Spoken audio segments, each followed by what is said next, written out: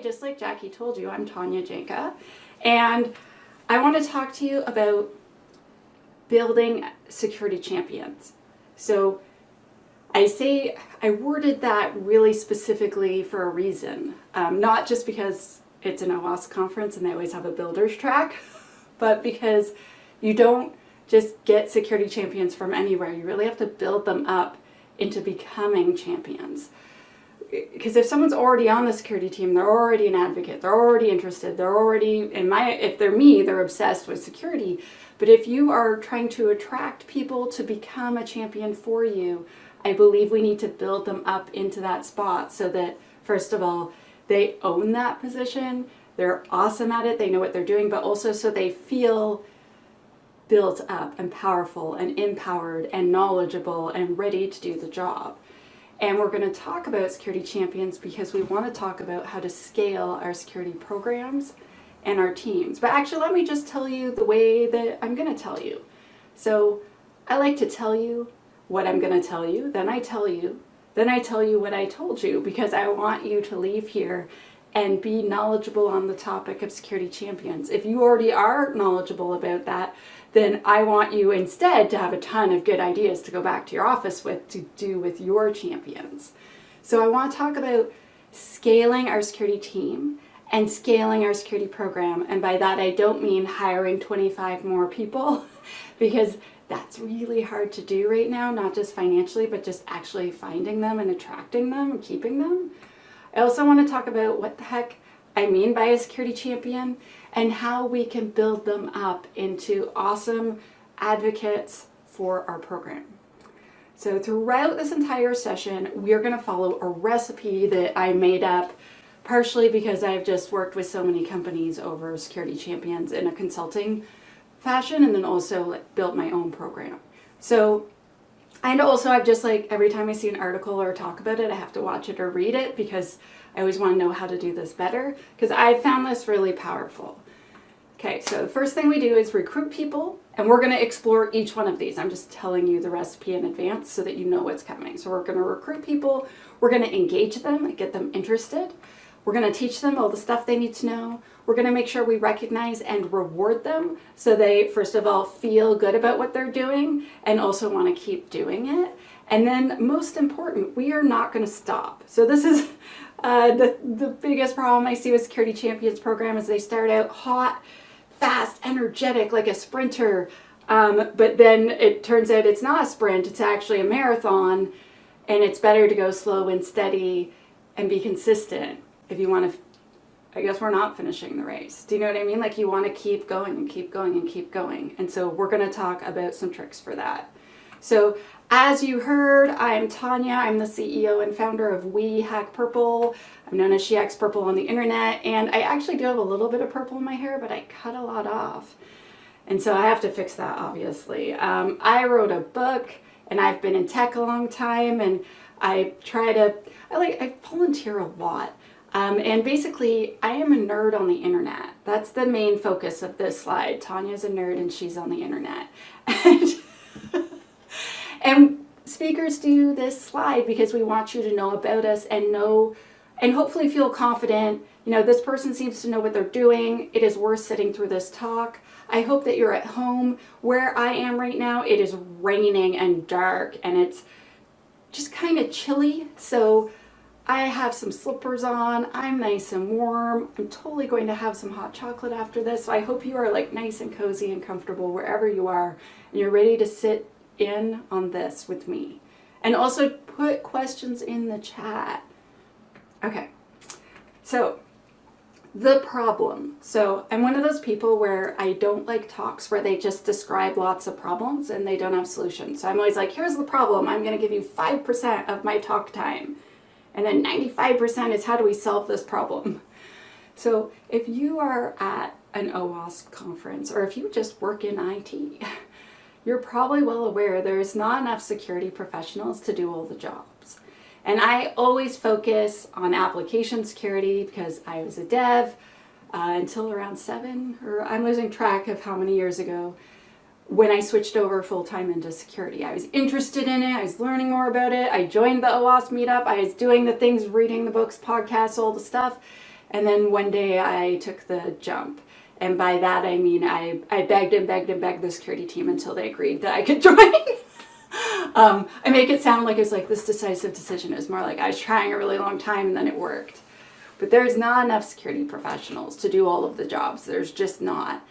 And like it's a problem. And because we know there's not enough to go around, we try to scale our team. And there's a lot of different ways you could scale, like through automation. And I always like, I mean, I am a computer nerd, so I, I literally want to automate everything. I have a, a giant garden and I've automated the watering and I've automated some lights if it's a rainy day and all this stuff because that's what I'm like. So automating, you know, doing coaching, um, having interns, like there's a lot of different ways that you can try to make your program scale. But one of the ways that I've seen work and one of the ways that I find can change a security culture overall.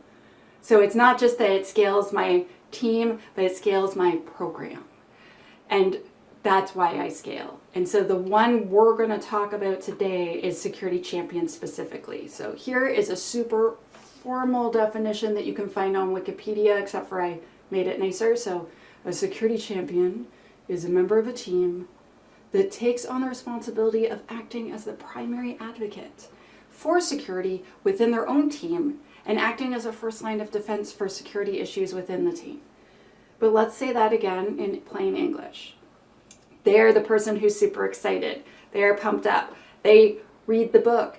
They fix the bug. They watch the video. They show up to the stream. They go to all your lunch and learns. They ask all the questions. They're emailing you. They swing by your desk. They talk to you on whatever chat program. That person, that is the person that you want to be your security champion. If you're ignoring those people, that person is your new best friend. So, what is a security champion? Like, what does Tanya mean by this? Like, it's nice you have some words, put them on the screen, explain it to me so that I can actually picture it in my mind. So, security champion is your communicator. They deliver messages from the security team to the dev team. And this can apply, like, you can have people on the finance team that are security champions, you just teach them different things. And I just realized I'm feeling like a little short It's gonna like up my chair a bit. There we go. Now I'm taller. Um, they deliver messages, they share, they teach, and they help. So they might be the person that's in charge of your SaaS tool and use it all the time and they fix all the bugs around it. Or they triage the results and then, you know, give out the bugs to the rest of the team. They are the person on the team that is basically the contact for security. Oh, does that bring me to the next bullet point? Yes, it does. So they're your contacts. So they deliver messages to the security team.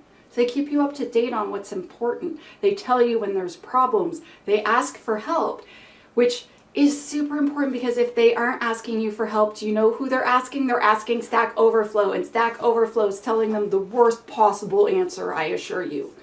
Um, they are your advocate. So they perform security work for their team, but with your help. But more importantly, they advocate on behalf of security. So I'm going to get a bit more into what advocacy means or being an advocate, but basically, imagine I am the security person and I come to your team and I go to talk to you and I'm like, blah, blah, blah, I want you to fix this and that, and I found lots of bugs and I need you to fix it all yesterday. And you're like, gosh, she's, that's not helpful. I'm not enjoying this discussion. But imagine it's a person on your team who's in the cubicle next to you who you trust and you've worked with for a few years. And they say, hey, so I ran this thing and it, ooh, it lit up like a Christmas tree. I'm kind of concerned. Can we take a look together and try to split these up and maybe we can make it less embarrassing by the time the security team sees it? When a peer asks you to do something or brings something to your attention or reminds you, it's very different than when someone from another team does that especially uh, I don't know if you know, but the security team doesn't always have a great rep everywhere. I definitely, when I was a dev, I remember thinking, how inappropriate would it be if I crawled under my desk so they didn't see me? if I get caught, how embarrassing is it versus potentially missing them? and so having them advocate for you is huge. So I want us to build security champions. I want us to build them up. And so let's start the recipe. Okay, so first we're to recruit. So yeah, I like I like the idea of like the big muscle, like yeah, let's recruit our champions. But basically, we are going to try to draw them in and attract them. So, first rule, most important rule, number 1, don't volunteer or order or force someone to become a champion. Attract people instead. And I know you're thinking like, "Oh, that's easier said than done." Yeah, I know it's more work it is more work to do a good job. It's really easy to do a bad job of things. Trust me, I know. You should see some home renovations I've done. But if you want to do a good job and you want to get good results, you want to attract people who are actually interested, actually passionate, who have time, who want to learn. And when you force someone like, oh, Bob was late to the meeting, haha, he has to be the security champion, that's not going to be your best champion, let me tell you. The second most important rule for recruiting is ensuring that their manager is on board. Because if they won't give them time to do this work and they find it annoying that they're doing it or they're trying to discourage them, again, you're not going to get the best work you can. And on top of that, your champion's going to feel really conflicted. If you're like, hey, do you have time this week that we could, um, you know, get together and go over like what your team's working on? But meanwhile, their manager is like, I need you to stop wasting so much time like you know with the security team it's it's incongruent. And so if you are seeing this where you have managers that aren't on board you need to persuade the manager and then go to the employee because otherwise they're in sort of an unfair position. It's not going to go well. So how do we recruit some champions? So recruiting is the first stage but when we get to engagement and we get to training this sounds weird, but you will continue to recruit throughout those two stages because the things you're doing are interesting and people are going to talk, people are going to notice, and you doing those things will continue to recruit. But you need to get a couple of people to start with, and then your program will grow as people hear about it. So the first thing I do is I ask for volunteers. I know that sounds really obvious, but let's say I'm having a lunch and learn or there's an all staff meeting, I'll ask can I have five minutes or less? And I'll get up, I'm like, hi, I'm Tanya, I'm from the AppSec team, and I want you to know we are starting, like, we're starting a Security Champions program. So those are people, and explain briefly what it is and say, if you are interested at all, no obligation, just, you know, message me on Teams or Slack or whatever it is that you use, and like, let's talk. And some people will message you provide opportunities for them to reveal themselves. So I'm going to just skip down. So like having a lunch and learn or some sort of training or some sort of workshop, whatever it is, people that show up, some of them might want to be champions. Ask whoever asks questions. So if there's a dev that's always emailing you and asking you stuff, invite them to become a champion. Don't pressure them. Just say, I'm looking for champions and you know, you and I talk a lot, and I thought you might be perfect for this, and I wanted to see if you might be interested. It's a little bit like asking someone on a date, but there's way less pressure, and there's way less chance of you getting slapped.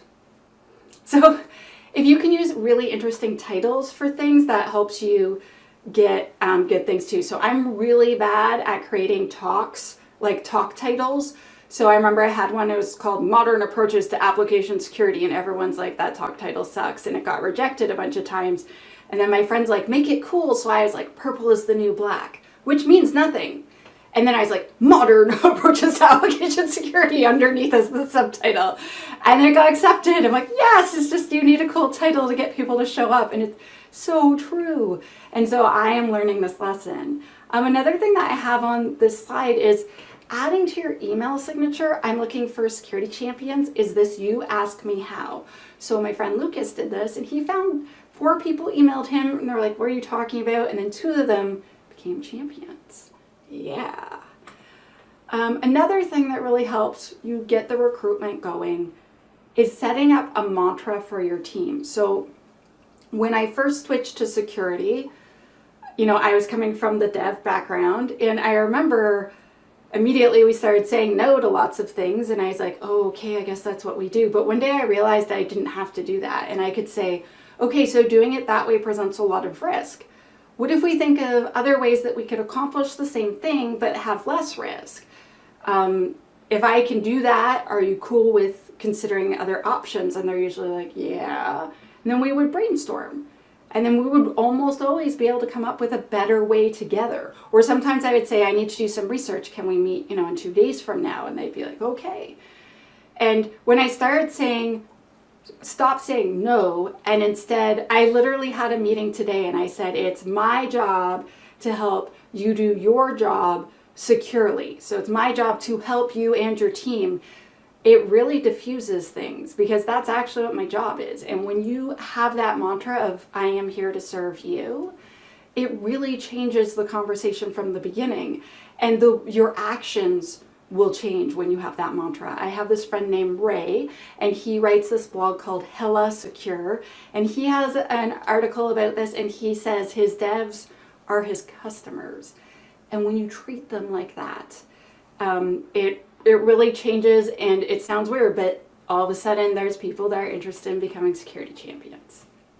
Okay, so like I said, recruitment continues past the recruitment phase. So as we do engagement and as we do the teaching and recognition and rewarding, all of these things, you'll end up getting more volunteers. So if you're like, I only have four champions, but I need 10, try not to freak out and start doing engagement. So engagement to engage someone is to occupy, attract, or involve them. And I want to do that in security stuff. And the other way that we could talk about engaging is participating or becoming involved with. I want to become involved with them. I want to know what they're working on. I want to know how I can help. Because if I say, Is there anything that I can help you with? and they say no the first four times, but the fifth time they're like, Actually, there's this thing. Yes! And you can build trust and show them you know stuff and help them make more secure choices. Okay, so what can we do to engage software developers? Uh, I got hugely engaged and ridiculously passionate when I was invited on a security incident. I was supposed to just be an observer, and I was just like, this is neat. Like, they're always rushing around and keeping secrets and stuff and I get and then there was code and I was like, "Oh, I'm reading the code." And I'm like, "Oh, no, this is happening." They're like, "You can just read that?" And it was actually obfuscated code, but I'm such a big nerd. I was like, "Oh, this means this." And I was like, "Yeah, I can." And then I wrote a PowerShell script to like de-obfuscate the whole thing, and they were really impressed and then I got to join the investigation, which was so cool. If you have a dev and it is their app, involve them in the incident Share appropriate secrets if you can. Make sure you deputize them or explain what need to know is because you don't want them running around telling everyone about this exciting thing they learned. It's very important they don't run around tell all the secrets. So you have to decide for your organization what's okay to share and what's not. So for instance, I worked in a very uh, in a above top secret environment doing anti, uh, anti-terrorism activities and I remember someone tried to let someone in without checking their ID, and I, I yeah, he was like my super senior, whatever, and I, I tore him a good new one. And then I remember these three ladies came up and they're like, oh, hey, could you hold the door? I'm like, no, this is a secure facility. You will sign in like everyone else. And they're like, oh, well, we're in her when we forgot our pass. And I was like, do you think I care? And I was like, this is a top secret facility. There's no way I'm letting you in. So all of you back up away from the door before I open it. And I'm like, also, I'm calling security to come talk to you. So don't go anywhere. And then it turned out that they were the super secret people and they were coming to check on us. And I had inadvertently passed a really important test. And I was like, sorry, I was so mouthy. And they're like, no, that was perfect. I was pretty embarrassed. But sharing a secret like that is a way to get people interested. I mean, you could share better secrets, but I certainly can't in a live talk. um, let your champion see everything first. If there's going to be a policy or you got a cool new tool or you're considering a tool, get them involved in that selection process. Show them, be like, do you like this one? Do you like that one? What do you like the best about it? Because they're going to be using it, right? Anything that you can let them see first helps engage them create a mailing list. So I'm big on mailing lists. Um, I have an email mailing list, like just for my nerdy stuff, but I mean at work. Like I'll have a lunch and learn list and I'll email them once a month and I'm going to tell them, like, listen, we have this new cheat sheet that we made and we also have a lunch and learn coming up and here's the invite and then also i want to tell you that next month we're, we're going to do this and if anyone wants to volunteer let me know and it might sound silly and like they're not like super pretty or anything i'm not good at that stuff it's just a bunch it's a wall of text but people read it and some of them volunteer and some of them ask questions and i get engagement more I like to meet with them once a month. This was my friend Ray again that pointed this out. I didn't realize that I just naturally do that, that I would need to see them once a month. Like I'd always find some excuse to talk to them, but he actually just sets like a one month repeating meeting and just have a list of questions that you always ask so they know they're coming. Like, what are you working on? What are you going to work on? Like, what can I help you with? you know, do you want me to help you prioritize some of the bugs I see your team having? Like, are you finding false positives with my tools? Have a list of things that you ask ready and you can put an agenda so that they know they're coming. This is a lesson I had to learn um, the hard way. You need to brace yourself. So, so once you build trust with all these awesome, intelligent humans where you work, someone's going to tell you something. So someone's going to say like, hey, Tanya, um, so there's this thing and it's it's probably nothing. it's gonna be something bad. And then you find out, you know, there's this team rolling their own crypto. I've definitely had this happen twice. There's a team where they're like, sure, we're putting their SIN number in a URL, but we're base64 encoding that field first. And like, no one would think to decode that. Shh. Um, and so you need to play it cool because the first time someone I built all this trust and then they told me something or something really bad and then I freaked out and then they didn't want to tell me anything again for a long time. So I've learned to be like, oh yeah, sure. And just like pretend that I'm chill because I don't have a poker face. My poker face is like, um, yeah, so brace yourself for them potentially telling you stuff and try not to freak out on them. I try to let them meet each other because it's awesome if they know each other, then they can help each other. That's good. Um, I invite them to join security communities. So where I used to work, we would walk together to the OWASP meetup. Not always, but some of them would come some months. And when we had the CTF, a bunch of them formed a team. It was really awesome. And no, they did not win first place, but they weren't last place. And I thought that was great because it was their first CTF they'd ever been to. And so inviting them to like a local b-sides conference because it's free or if you actually work at a place that has money you could invite them to a conference that costs money. Um, just getting them involved in community things can really pique a lot of extra interest and again make them feel engaged. So what do we teach our champs right? Um, so there's one key thing that i want you to take away from the teaching thing and then i'm going to tell you lots of stuff because i run a training school um, so I'm really big in this topic, and I try. I was like, gosh, I have like way more in this one section than the rest of the sections, but I guess I feel really strongly about it. But only teach them what they need to know. Oh my gosh, I have reviewed so much training from other people where I'm like, why are you just like, why is there all this filler? Like, why are you teaching them this random thing that they could search on the internet or like why are you showing them Shodan? Like Shodan's cool. It has nothing to do with the secure coding course, right? I feel like, or like there, I remember this one trainer, it was like half a day on what is symmetric versus asymmetric encryption and the history of Diffie-Hellman. And they were not writing encryption software. So I'm like, why do they need to know this? Like, please, please, please, please stop, stop, stop, stop. Like if it's one extra slide, that's one thing, but I see like a half day out of a two day training where I'm like, this is all filler, just like trash all of this. Another thing that I see people miss is you need to teach them what you need, expect, and want from them as champions. Like if you had a job and there was no job description and there was no like clear stuff that your boss expected from you, would you take that job? No. Like you're a security champion. What does that mean? Well, it means that you advocate what does that mean? Like you need to say like, I need you to triage all the security bugs. I need you to validate these results and I need you to do a code review on every new pull request for secure code review. So I'm going to give you secure code training And then I want you to review every new pull request on behalf of your team and just look for those things on the list I gave you and push it back if it doesn't meet it. And that's that's what I, and once a month I want to have this meeting with you. And if you tell them exactly what you want from them, you are more likely to get a yes. But let's talk about some topics. And so I'm going to give you like three headline topics and then we're going to dive into each one of those topics a bit more. So secure coding and architecture or secure design, your policies and tooling. But let's get a bit more so secure coding and architecture or design, whatever you that person does, because if they are making apps versus designing architecture or bigger things. So formal training is good, but you can give them training too. I know I run a training company and you're like, look at her, she's doing public speaking right now.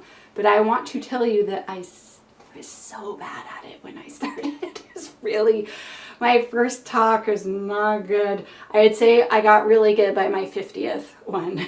And so you can learn too, trust me. Um, so I am a big fan of threat modeling.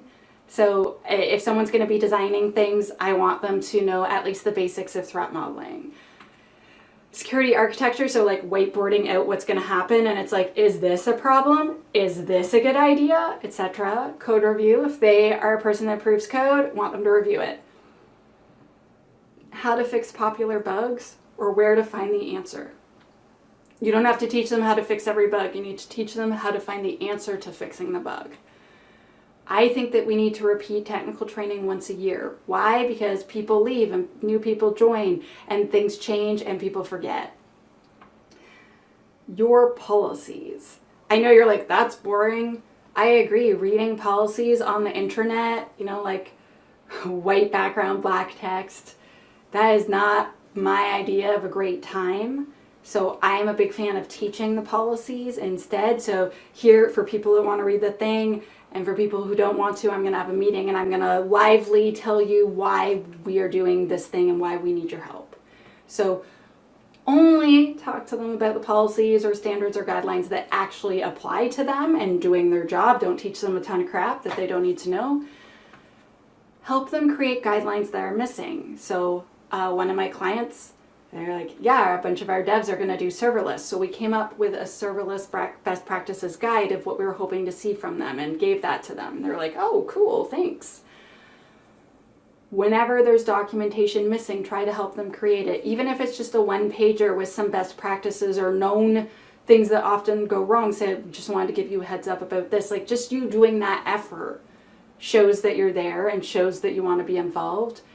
And also, I mean, that document might save your butt, right? If they follow those best practices, you might be avoiding so many things you don't even think about. Like in Brian's talk earlier, when he was talking about, you know, design flaws and how that's a vague topic, it's like it is, but it, it makes up a huge percentage of what's wrong with applications and why they're insecure. And it's a really valid conversation I always want to have. Um, teach them how to be compliant with your policies and help them get there.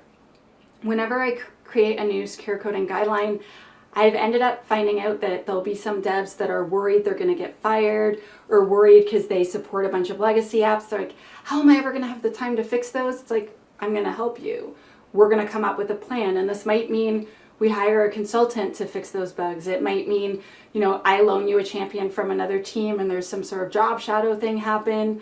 Um, uh, there's a lot of options for things, but I want everyone to know like no one's getting fired. This policy is not a stick I'm going to run around and use so that I can fire people I don't like. It's it's a level that I want us to all move towards being at so that I can sleep at night and not all my hair is gray from working here.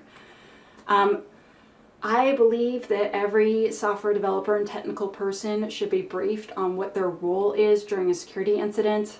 I have had software developers, help desk, operations folks try their best to help and ruin the chain of custody. I've had them make all.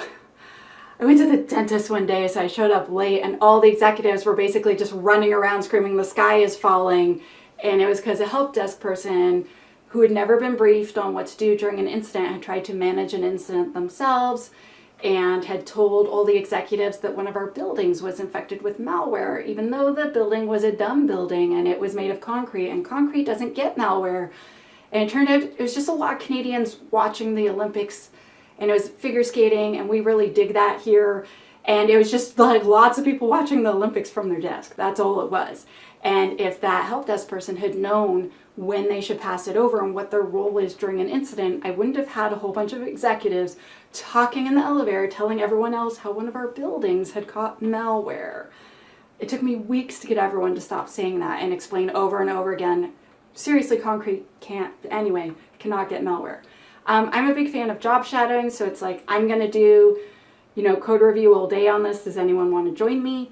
Um, so I know some people are like, that sounds really boring, but um, I dig it, so there. Um, and I am a big fan of holding consultations. So if I'm to write a new secure coding guideline, I want everyone's opinion. You know, I've created a cheat sheet. This is draft one. Tell me how you feel. What do you think? I want to know.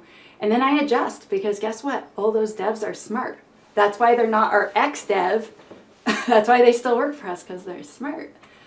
Okay, tooling.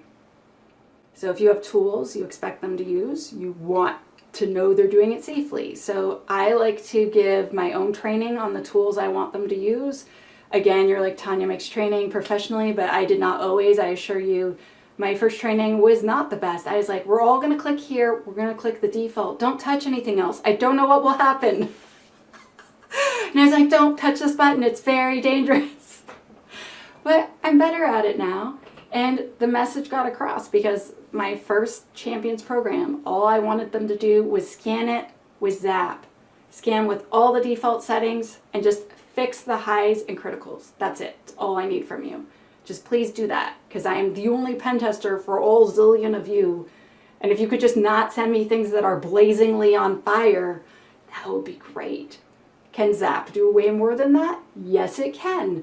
But it was enough training that all the devs could do it and stuff started showing up on my desk and it was a lot nicer to look at. I want the devs to know what the output means from my tools. I don't want to be a mystery. I don't want them to receive it and ask if it's in English or not. um, if I am expecting them to handle the output directly, I need to teach them how to validate those results because I don't want them chasing false positives, so I want to give some lessons on that if I am expecting them to install the tool, so sometimes you can install things for them, but quite often, you know, they're creating pipelines, they're off, they're being devs, they're creating and building and doing all the stuff all the time. And so I might say, okay, so like here's how to install it and here's the settings I want to see, like go forth and conquer now.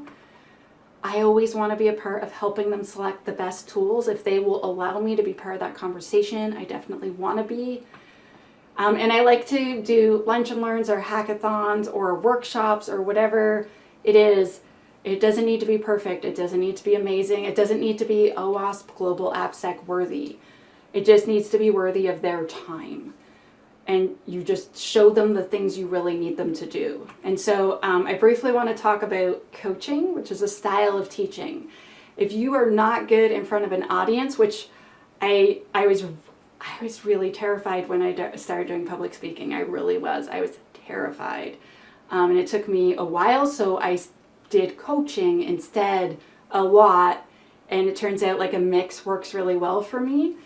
And so coaching is a so so the kitty has a lifesaver because it's powerful. So the, like I thought that they looked like a Jedi, but they needed a lifesaver to make that clear. But anyway, so let's talk about how about what coaching means and then how you could do some. So you don't have to stand up in front of all of your peers and say stuff.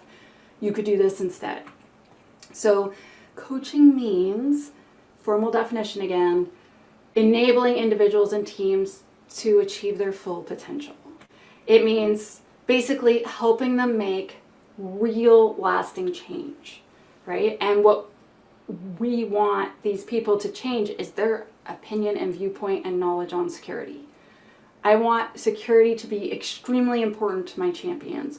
I want them to be interested in it. I want them to take it seriously and that will emanate to the rest of the team. That's really important to me. So if we want them to start practicing a secure system development lifecycle, we need to support them in getting there.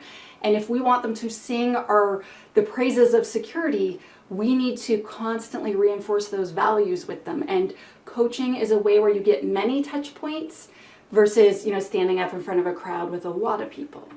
And so what can we how can we do some coaching? So for champions specifically, set up office hours. You know, every Thursday from 2 to 4, I have office hours and my Zoom or my Teams meeting or whatever is just open. I'm always there. It's an open invitation for anyone to come and talk to me about security. Set up repeat meetings with each one of your champions each month. And um, like I said, that was my friend Ray's idea, but it didn't occur to me that I would go talk to them all at least once per month. And when he when I read it in his article, I was like, oh my gosh, that's so true. And you could just set up a meeting to make sure it happens instead of having to think about going to talk to them. Help them prioritize because it can be overwhelming. I one of my clients scanned something that they had acquired and it had 43,000 vulnerabilities and I don't know about you, but I found that overwhelming. And so instead, I'm like, okay, so actually there's two types of vulnerabilities that I want them to do, and it's like a copy paste fix. And so I want to talk to them about the two bugs I need them to fix. There just happens to be 101 instances in total. And then it was less scary.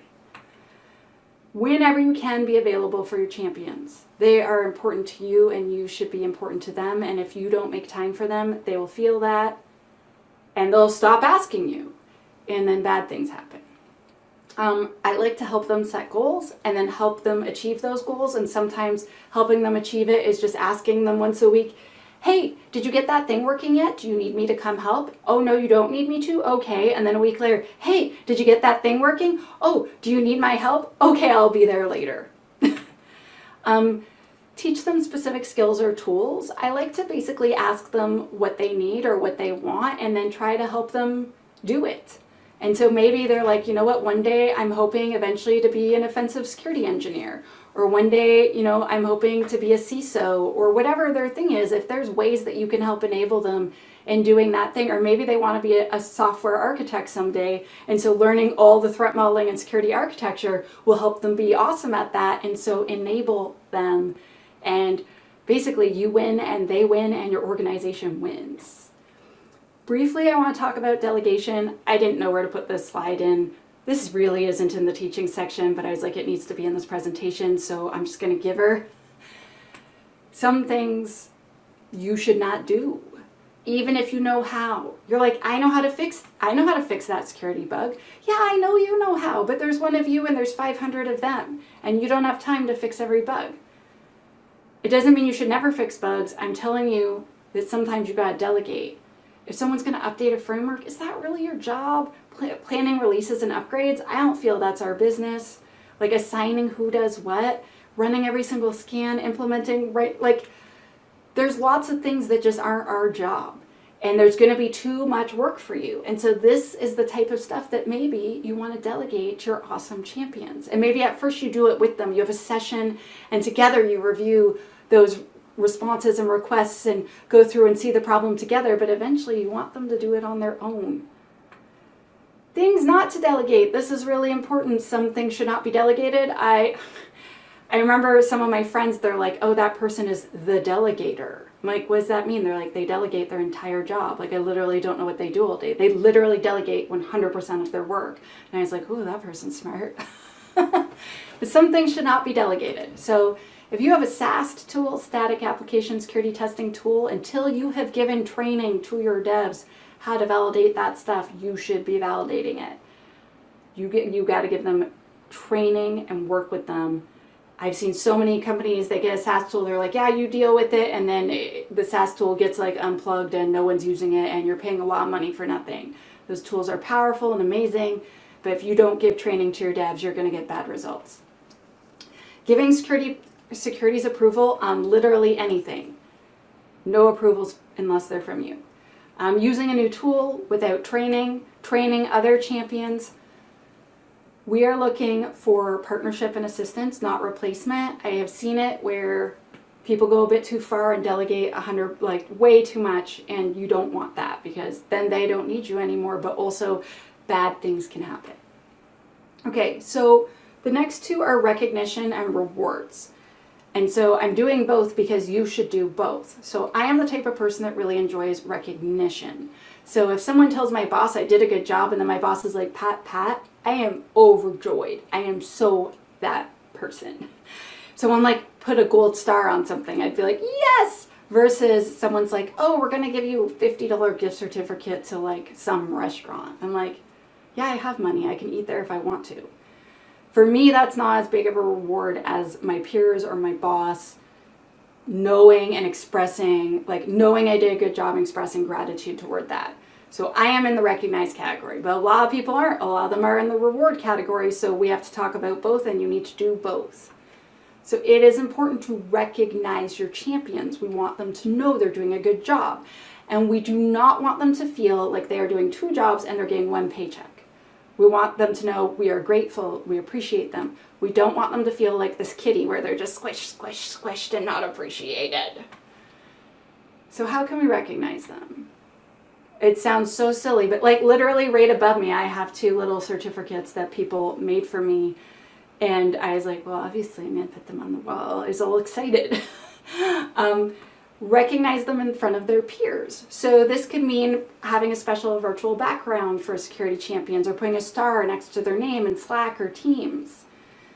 Doing something visual that makes it clear that person is a champion. Always put a note in their performance review to thank them for doing this work on top of their regular job. Always do that. Tell their boss every single time they do something big. Like, yeah, a couple weeks ago, Brad told me that there was this team he'd been you know to this developer lunch and this team was talking about how they'd rolled their own crypto and he told me about it and i went and approached that team and asked them to do a secure review and then i stumbled upon the thing that brad told me about and then i was able to course correct and now they're doing proper encryption. And without brad i wouldn't have known you know in the security architecture thing they had marked it as encryption. And it would have taken a while for us to figure that out and it might have been when we had an incident. And so I am so happy that Brad told me about this and trusted me with this information to know I would handle it well and not make him look like a snitch in front of his team when really what he's doing is the right thing and trying to fix a security problem, right? Um, sending them an email and telling them that you noticed that they did something good. So if it's a thing they already told you about in the meeting, you don't need to email them after and be like, I noticed that, but let's say you know, someone's like, yeah, Brad was telling me, you know, that I should talk to you about this. Yes, thank you. Write them a message and say thank you for their help. These little things make a huge difference. Um, one more thing is if you can make it clear in front of their peers that their role matters and like what their role is, again, this makes people feel good. Like, I like it. Okay, so rewarding them. So I'm a big fan of rewarding good behavior instead of attempting to punish bad behavior. And I like to reward whatever I can. I remember I had an employee and they had messed up very, very, very badly, and I was very upset with them. And I remember saying, I don't need to punish you because I know you're going to punish yourself way more than I ever would. So tomorrow, when you've cooled down, let's have a discussion about how this can never happen again. And the employee was just like, I am going to punish myself, aren't I? And I'm like, I'm not telling you to. I just know that's what you're going to do. So I'm not going to tell you all my thoughts because you already know.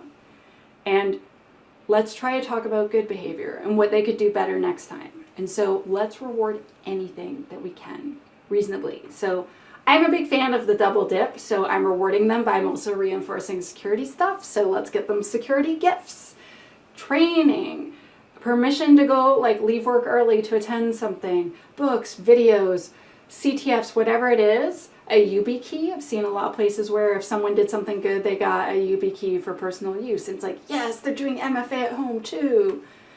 Giving them your time and undivided attention. When someone comes to your desk, turning your body like this and facing them and looking at them, put down your damn phone and look in their eyes and talk to them and listen.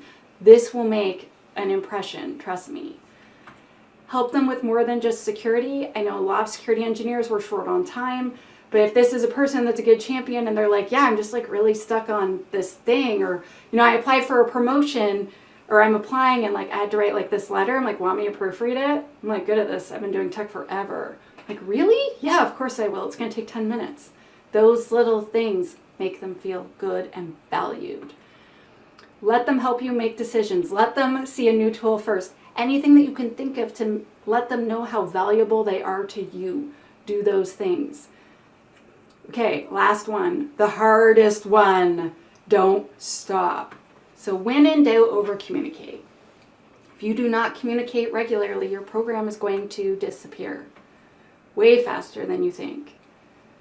Most often, when I'm called in to consult, it's like, well, in 2019 we were doing blah blah, and then um, and then we stopped for a few months, and then now it's two years ago, and so let's you know what are we going to do with our program? I'm like well you don't really have a program so let's let's try to you know start again and let's not sprint. Let's marathon this. Let's plan out s- slow and steady so ways that we can do this consistency and consistency means planning in advance even if you only meet with them once a month so there's no education there's no lunch and learns there's no big deals or anything it's just you're just checking in and you're like hey I wanted to check in with you and see if you need any help with anything. What have you been working on lately? Is there anything there for me? Do you need introductions to people on other teams? Let me know. I'm here. It sounds and sometimes they'll be like, "Yeah, everything's good. Can I just can I just talk to you next month?" Sure. Right? Because they're busy and frantic or whatever because they actually have a full-time job that they're busy doing. But just the fact that you checked in lets them know your program still exists. Some champions are going to need more of your time than others, and some champions are going to be better than others. Some people will do the bare minimum because that's who they are. And guess what that is?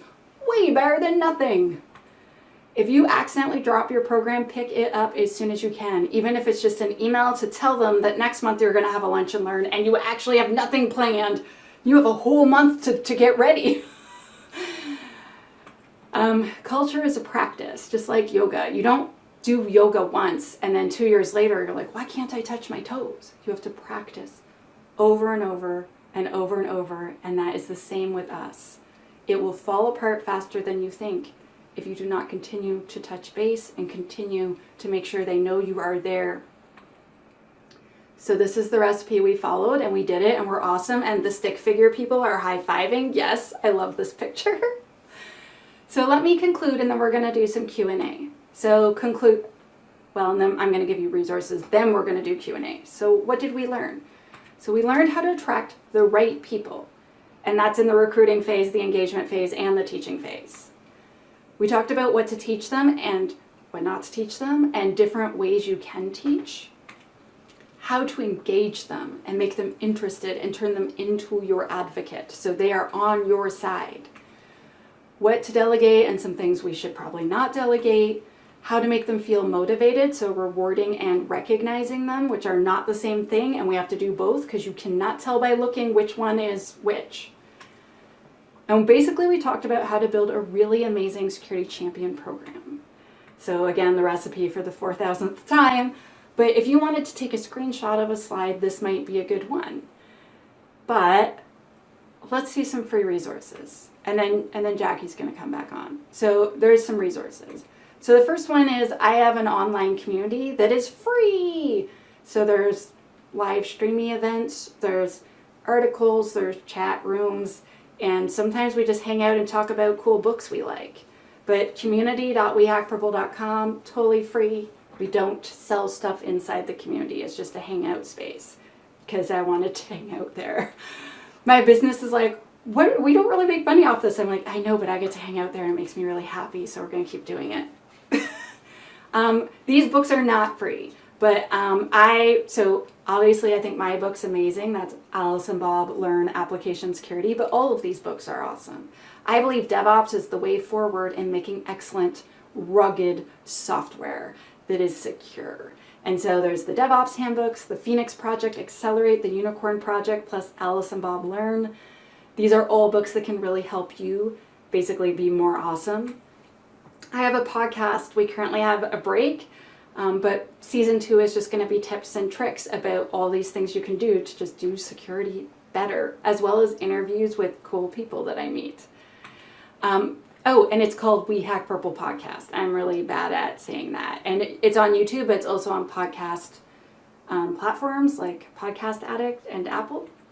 Um, resources me. So I am a giant nerd and I'm She Hacks Purple on every platform you can think of. So I also have a blog, so I've been putting it on my company's site, so wehackpurple.com slash blogs. And right now I am blogging about security champions. So I've taken this talk and just sussed out so much more. I'm giving examples of programs and other things you can do because they only let you talk so long at conferences, but I had so much more to say. Um, Alice and Bob, newsletter, etc. I have a lot of stuff. But for now, I want to hope that you spend your life doing strange things with weird people because I think that is the best way to spend your time. And I want to say thank you so much. Thank you to OWASP for having me at this amazing conference. AppSec is my favorite conference, and they, they know that. I am their biggest fangirl. And thank you for coming to my talk. I really appreciate it. I happen to know there were a bunch of other really awesome talks during this time slot. So thank you for picking me, but just so you know, the other talks are recorded because I asked them because I wanted to see their talks. Thank you.